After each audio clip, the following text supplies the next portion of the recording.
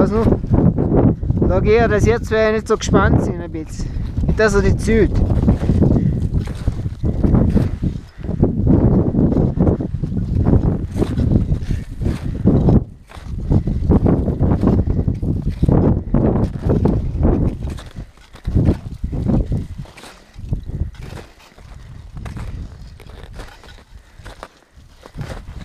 Thank